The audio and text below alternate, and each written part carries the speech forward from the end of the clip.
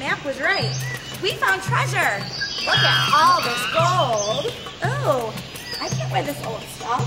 And you call this treasure? What do we do? A vest, me mateys. That's quite a chest. We've got the booty. Aye, lassies. You sure do, but we're going to Hollywood. Hollywood Treasures pays the highest in the city of Rochester for your diamonds and gold. Always get the highest price at Hollywood Treasures.